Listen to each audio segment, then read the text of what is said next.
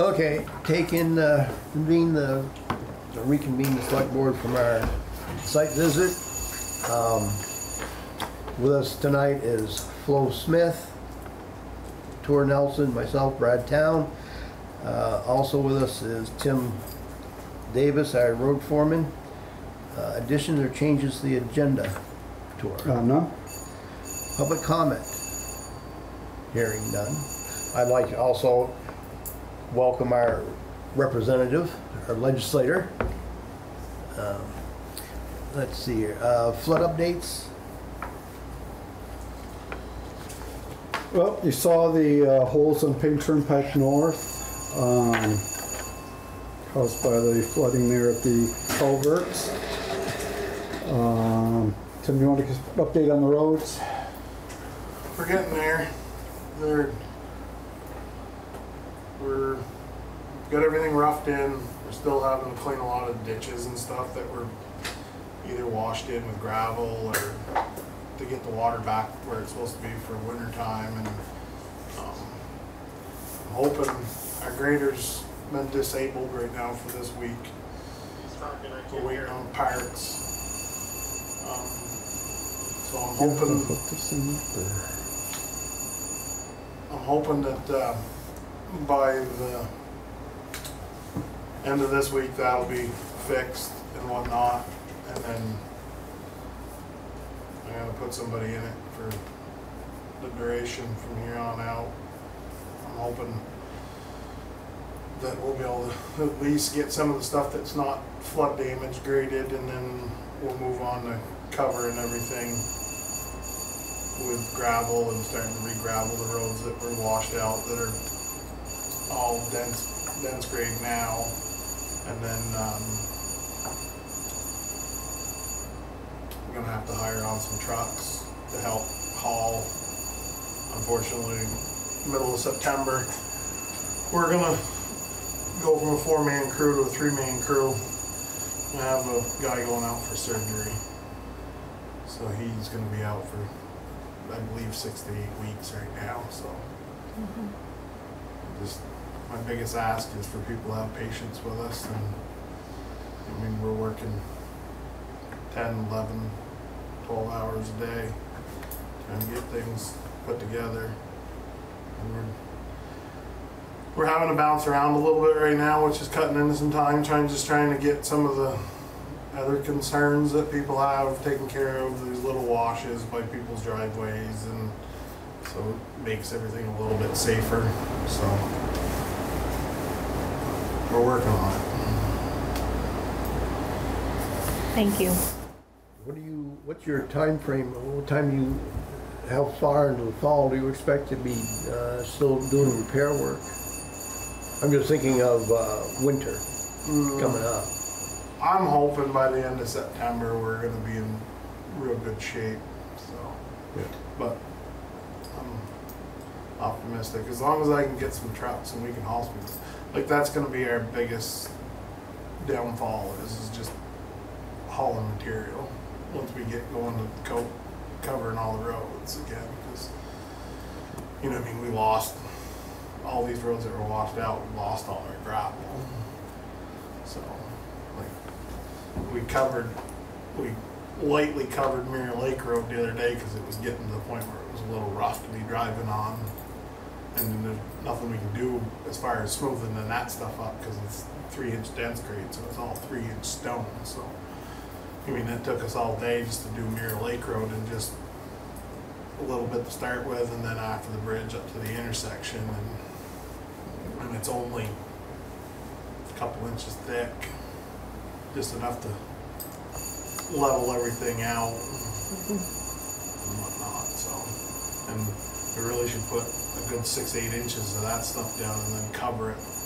I'm, I'm shooting for at least six inches of the inch and a half and then put a couple inches of three quarter over the top of everything, so we got some material to grade with.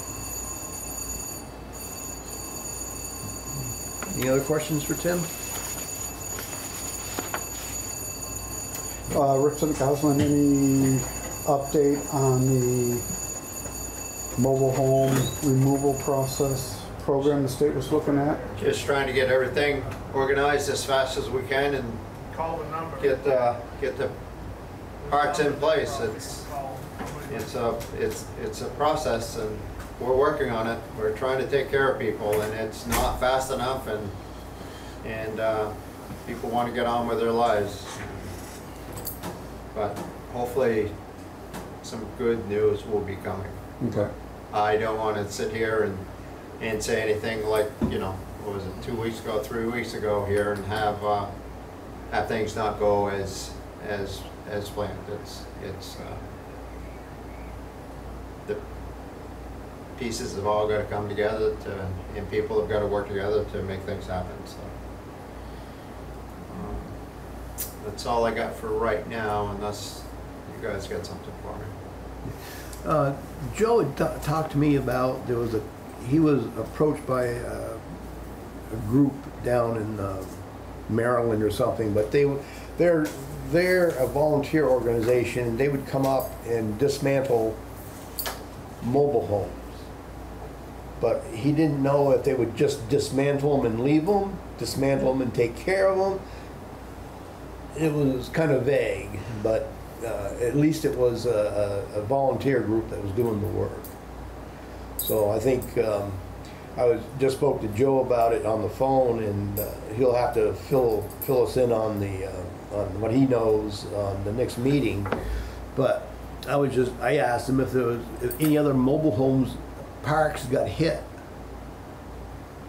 I believe Johnson, up in Johnson, it was hit pretty hard. Maybe Ludlow too? Yeah. It would make sense if they're coming up here, if they're bringing any kind of equipment with them, to have them be able to go around to all of them and see about it. I know the governor and the administration's working on stuff uh, that, you know, uh, the governor in, uh, in, uh, uh, with Irene, and I think it started down in Weston's, what was Weston's at the time Yeah. there and stuff, and implemented a plan, and, and I think he's trying, I don't want to speak for him, but I think that's trying to utilize that plan and try to recycle, get as much money as it can for that, and, and just try to have these, these residents be able to move on with their lives and get as much as they can. I, I, um, I, uh, I know there's a lot of rumblings out there about, you know, people just wanna give up their, um, give up their homes with the park rent and all that stuff. I'm, I'm no, no, no lawyer, but I would, I, I would hope there's a better option than that. Um, They have to figure out what they wanna do with that, but I, um,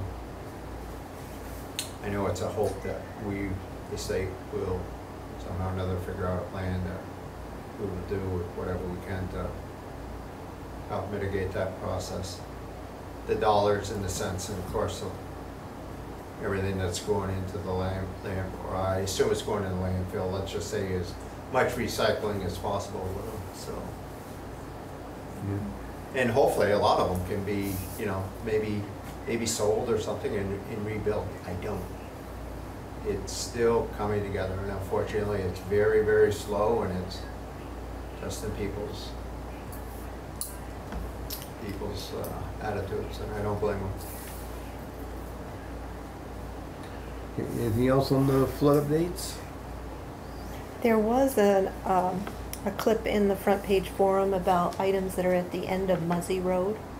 And Joe actually saw it and forwarded it to me and said that it was a good discussion for tonight around this, you know, basically just people that have things they need to discard, recycle, etc cetera, and wondering if the town of Berlin or the state is going to assist them with picking it up.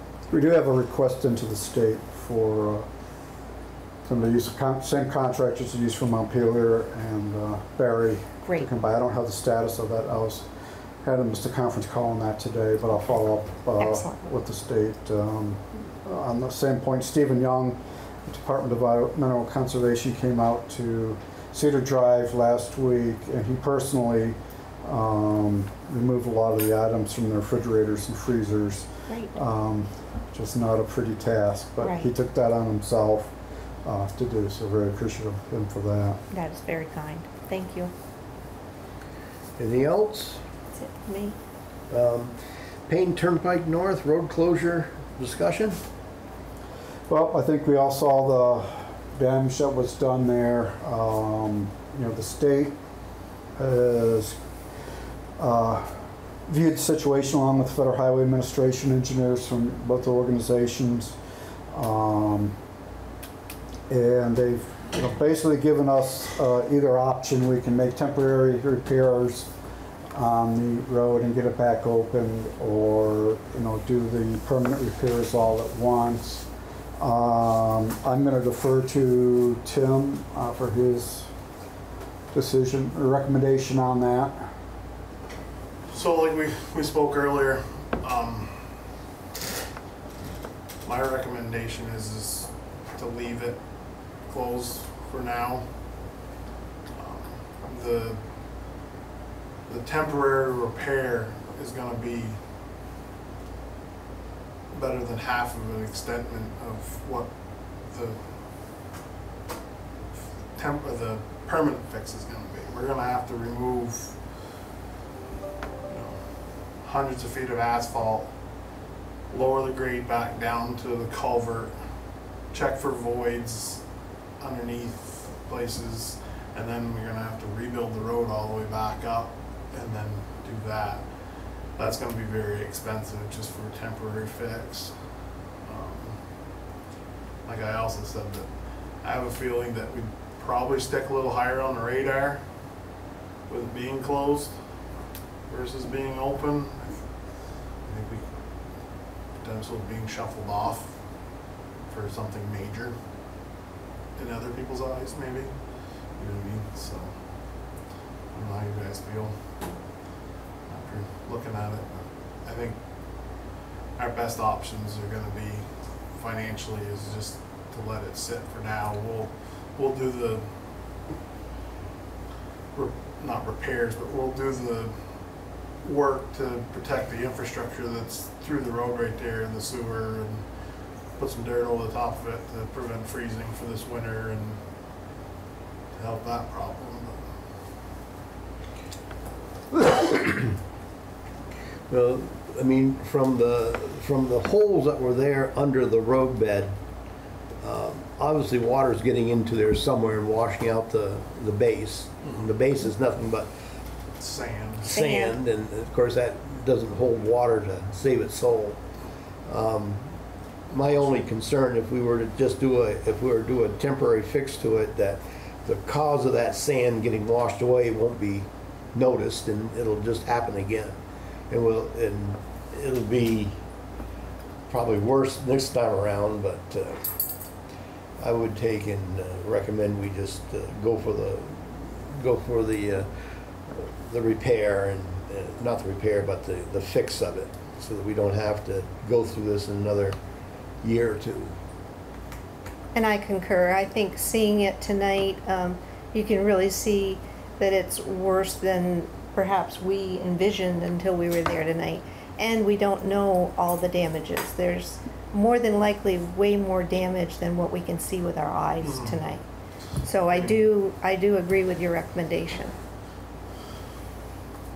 I will make that as a motion. And I'll second that.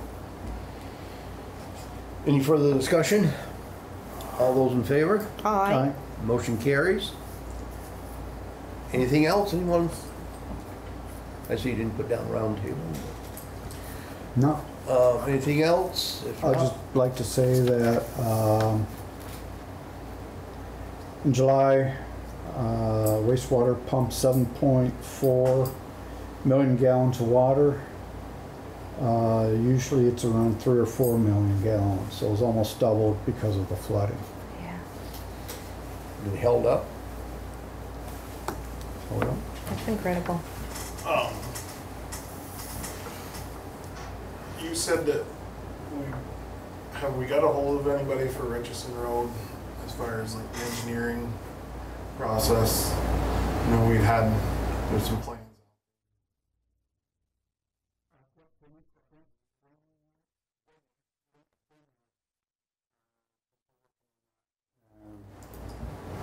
Just let the final desi- final design. Yeah, because Dave Wilcox had contacted me today just to kind of see where we were at and on like what kind of timeline we were looking into for usage of the temporary bridge and whatnot. So I, I hadn't heard much. I mean, I haven't been in here much, so I was just wondering, and he was inquiring, so I was just to kind of get him an answer if we were looking at a year or two or less than that, or we're going into the wrong end of the construction season.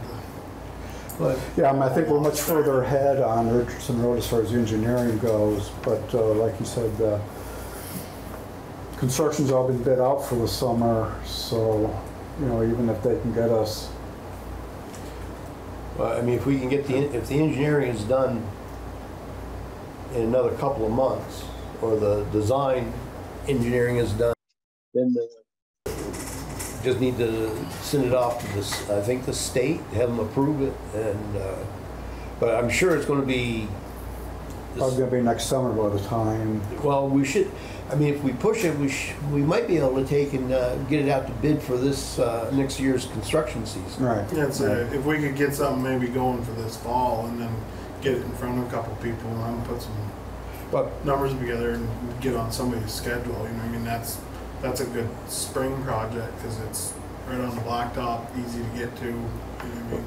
And The other, well, from my point of view is that uh, if you can take and get the, uh, get the engineering done, uh, you gotta get a hold of the concrete people that made the castings.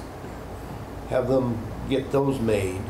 I mean, they did a great job on uh, Fisher Road because they had, they had them all uh, spotted down at uh, Belleville. I think it was Belleville. They had them up in the yard on tractor trailer bed, just brought them up as they needed. So, the, uh, uh, I mean, the actual construction of the tube didn't take long. No, It's all the prep work, yeah. so. Uh, Anything else? That's all I had. Entertain a motion to adjourn? I make the motion to adjourn tonight's special board meeting. A second? All those in favor? Aye. We're adjourned.